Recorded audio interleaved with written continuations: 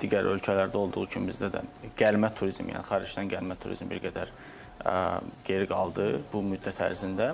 Amma ə, bizim yerli turistlər isə daha çox yönləndilər ölkə daxili səyahətlərə və ə, ötən yay, ötən yaz daha çox cənub bölgəsi bir inkişaf dövrünü yaşadı deyərdim. Ə, həm ə, daha çox insan ora getdi, oranın yolu çox ə, yenilənib və, və digər amillər təsir edir ki, insanlarımız Bakıda yaşayan insanlardan söhbət gedir. Buradakı insanlar daha çox cənub bölgəsinə istiqamət aldılar. Daha öncə isə bu bir qədər belə deyildi, başqa regionlar daha məşhur idi. Xüsusilə də Avropa ölkələrinə diqqət yetirdikdə yalnız e, Şengen ölkələrinə gediş-gəliş e, icazə verildiyi üçün digər ölkələrdən turist axını olmadığı üçün daha çox azalma müşahidə olunur. Azərbaycanda isə söylədiniz ki, e, daha çox regionlarımıza diqqət ayrılıb və bu zaman biz problemləri də görmüşük. Çünki bugünə kimi daha çox insanlarımız xaricə səyahət edirdilər və çalışırdılar ki, belə deyim, o səyahət ehtiyaclarını bu şəkildə ödəsinlər. Ən azından Gürcüstana gedirdilər. Çünki ən ucuz səyahət planlarından biri də məhz Gürcüstan vasitəsilə idi. Amma indi biz artıq regionlarımızı gəzməyə başladıq və problemləri görməyə başladıq. Bugünə kimi heç vaxt fərqində olmadığımız. Sizin fikrinizcə, bir səyahət blogeri olaraq, sizin fikrinizcə bugün bizim regionlarımızın turizmə inkişafına təkan verməsi üçün əsas problemləri nələrdir? Mən düşünürəm ki, əsas problemlər xidmət ə, xidmət sektorunda olan problemlərdir.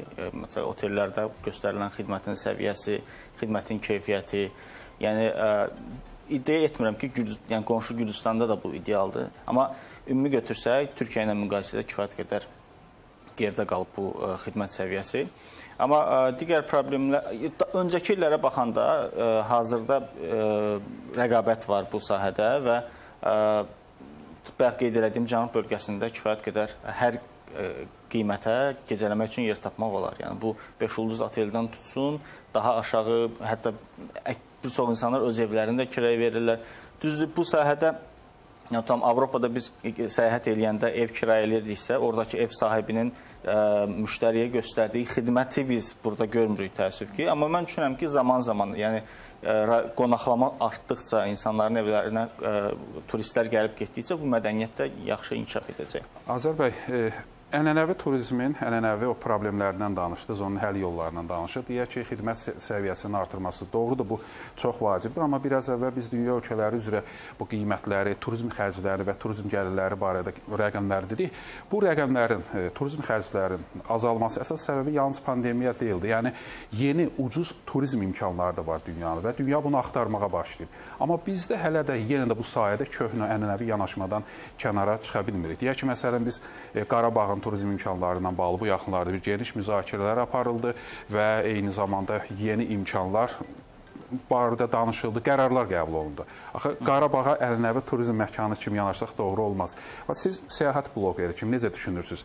Qarabağda xarici turistlər daha çox nəyə görmək istəyəcəklər? Mən düşünürəm ki, Qarabağda xarici turistlər daha çox yerli insanların yaşayış tərzini görməyə maraqlı olarlar. Ondan sonra ə, tarixi abidələri görməyə maraqlı olarlar. Çünki Qarabağ özü qədim ə, torpaqdır və qədim ənənəyə malik torpaqdır və insanları da ə, belə bu etnik etnik ə, tərəfdə insanları görmək istəyəcəklər ki, burada insanlar necə yaşayır, nə işlə məşğuldur. Əslində mən səyahət bloqeri kimi mənə də maraqlıdır. Yəni Avropanın ən inkişaf etmiş ölkələrində belə olsam, ə, şəhərlərdən həmişə kənara çıxmağa çalışıram. Tutalım gedirəm şəhər kənarındakı insanların yaşayış tərzinə baxıram. Onlar gündəlik həyatları necədir, tutalım ferma varsa hətta fermaya da gedirəm ki, bunlar necə baxırlar, məsəl üçün necə bu xidmətlər necədir, bu fəaliyyətlər necədir. Mənə maraqlı şəxsən və Avropalılara da maraqlıdır.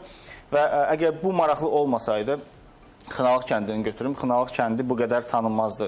Həm Avropa turistləri arasında hansısa bir turist regiona, rayona getmək istəyirsə, ona ilk təklif olunan Xınalıqdır və onu çox müsbət qarşılayır və Xınalıqda da artıq çoxlu ingilis dilində danışan bələdçilər var. Yəni bu tələbat var ki, bu təklif də var.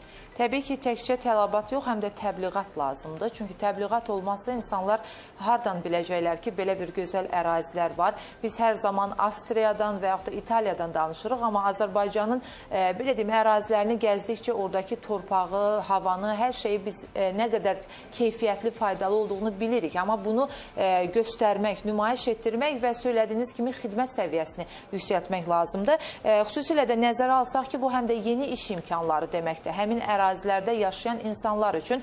E, istəyərdim ki, turizm sektorunda iş imkanlarının sayına da nəzər yetirək. 2019-cu ildən 2020-ci ilə kimi vəziyyət necə dəyişib? Gəlin, e, kiçik də olsa bu rəqəmlərə diqqət yetirək, nəzər yetirək. Deməli, bu e, sektorda 2009-cu ildə 334 milyon insan çalışıb. 2020-ci ildə bu göstərici təxminən bir 100 milyona yaxın azalıb 272 milyon nəfərə enib. Belə, Azər bəy, e, elə bu iş imkanlarından danışaq, amma Azərbaycan üçün olan iş imkanlarından danışaq. Bilirik ki, Bakıda, Sumqayıtda, ümumiyyətlə Abşeron rayonunda olan imkanlar regionlarımız üçün tam yaradılmayıb. Çünki daha çox iqtisadiyyat da məhz bu ərazilərdə toplaşıb. E, turizm sektorunun da inkişafı həmin regionlarda olan insanlar üçün müəyyən iş imkanları yarada bilər. Turistlər cəlb olunur, onlar müəyyən bir satış həyata keçirirlər və yaxud da söylədiyiniz o xidmətləri icra edirlər. E, bəs həmin şəxsləri necə bütün bu məsələlər məsələlərə cəlb etmək olar. Avropa təcrübəsini götürsək, hansı iş imkanları yarada bilərik, hansı xidmətləri onlar üçün e, belə deyim ortaya qoya bilərik ki, onların da məşğulluğunu artıraq. Regionlarda olan e, insanların turizmə cəlb olunması, e, yəni çox da böyük bir şey fikirləşməyə ehtiyac yoxdur. Əslində Avropada və Amerikada gördüyüm maraqlı təcrübələri də ə, tətbiq etmək olar. Tam Avropada kimsə və Amerikada və ya Kanadada deyim, kiminsə bir ferması var burada nə bilim e, heyvandarlıqla məşğuldur və ya toyuqçuca saxlayır. Şəhər adamına bu sahə maraqlı gəlir həmişə və o e, nə edirlər onlar? E, fermanın ərazisində kiçik bir ə, piknik yeri yaradırlar. Orqanik məhsulların satışını həyata keçirirlər. Bəzi hallarda o fermaya giriş ümumiyyətlə pullu olur. Tam ə, Kanadada biz olanda fermanın girişi təxmini 30-40 dollar idi bir nəfər üçün. Bəzən uşaqlara pulsuz olur və ya hansısa məhsul yığımının ə, yığımı eləyir. Tam çiyələk yığımıdır. Böyük bir tarladır. Ora tam bilet alırsınız ə, 30 dollara. Deyirlər girin, nə qədər yığa bilirsiniz, yığın öz balaca zəmbillərinizlə. Uşaqlara da maraqlıdır, böyüklər üçün maraqlıdır. Həmçinin əlavə gəlir yeridir və həmin fermada olan əlavə fermaya əlavə işçilər də cəlb eləmək olar ki, onlar da buradan faydalansınlar. Azərbəl, e, elə uzağa getməyək qonşu ölkədə, Gürcüstanda az qala ki, əhalinin birbaşa olmasa da dolayısı yolu ilə 5də 1, yəni 20% turizm sektorunda çalışır. Oradan nəsə bir e, mənfəət əldə edə bilər. Deməli, Azərbaycanın daha çox imkanları var. Və bunun üçün bilmək istərdik, bu bazarı yenə dirçətmək üçün hansı yeni turizm imkanları, turizm adlarını biz e, gətirə bilərik. Məsələn, hərbi turizm və digər hansı sahələr bizdə daha çox keçərli ola bilər? Gürcüstanda bir qədər bu məsələ fərqlidir. Gürcüstan e, həmçinin də şərabçılıqla çox e, məşhur olduğuna görə şərab evləri və ya fərdi şərabçılıq təsərrüfatları həddindən artıq çoxdur və bunlar da turizmə birbaşa birbaşa dəstəkdir, yəni təkan verir və ya istənilən şəxs, tutalım siz Gürcüstanda hansı evi qap, evin qapısını döysə sizi şəraba dəvət edir. Azərbaycanda da kifayət qədər şərab bizdə də var, amma var. bizdə də var, amma onlar qədər yox. onun ənənə yoxdur bəli. Onlar qədər deyil. Bizdə bu sahə bir qədər bir qədər fərqlidir. Və istəyərdim ki, Azərbaycana ən çox turist axını olan ölkələri də tamaşaçılarımıza xatırladaq və ən çox turist axını e, Türkiyədən olub 2021-ci il sentyabr ayında. Bəli, bu il elə e, pandemiyanın olmasına baxmayaq, Rusiya təxminən 19 milyona yaxın turist gedib. Və İran da bu rəqəmdə, daha doğrusu bu siyahıda 3-cü yerdədir. Sentyabrda 2021-ci ildə 16270 nəfər gəlib.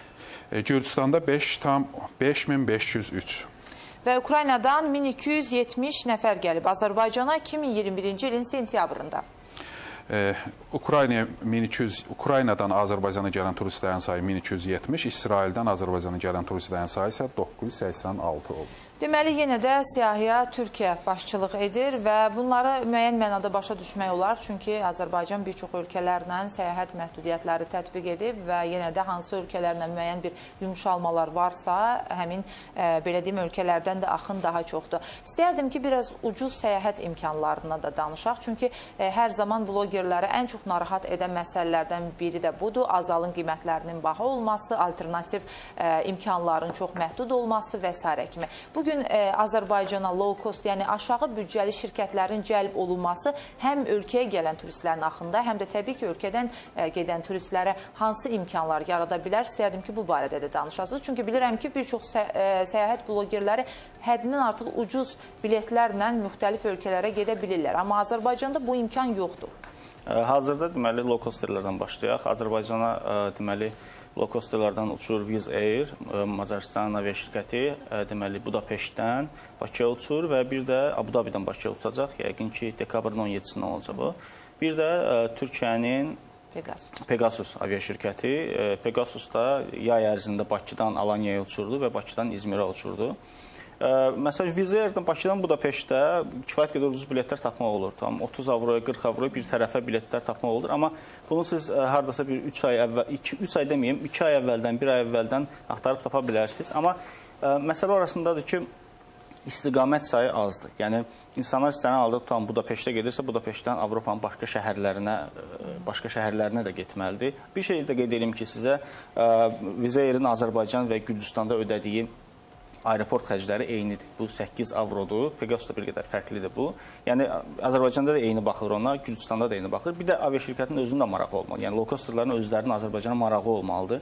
Bu da müəyyən amillərə bağlıdır. Tutan burada viza amili var. Azərbaycana Avropa Birliyi ölkələrinin vətəndaşları viza ilə gəlir. Azərbaycanlılar da ora viza ilə gedir və aviaşirkətlər bu statistikaya baxanda görürlər ki, burada məhdudiyyətlər var. Vizanı mən ə, səyahətçi kimi məhdudiyyət kimi görürəm. Yəni istənilən 20 avro olsa, 20 dollar olsa belə Azərbaycana gəlmək bunun özü məhdudiyyətdir. Yəni bir qədər amma baxırlar ki, tam Gürcüstana tamamilə vizasızdır. Eyni zamanda Gürcüstan vətəndaşları Avropa Birliyinə vizasız gedir və aviaşirkət yeni istiqamət açanda daha sərbəst olur. Bu daha azad olur və daha maraq göstərir. Amma düşünürəm ki, Azərbaycandan da vizasız Avropa ölkələrinə ə, Serbiyaya bu yaxınlarda qarşılıqlı vizasız rejim açıldı. Ora birbaşa uçuş ola bilər və ya Makedoniyaya ola bilər və ya Montenegroya ola bilər. Bunlar olsa insanlarımız daha çox səyahət edirlər.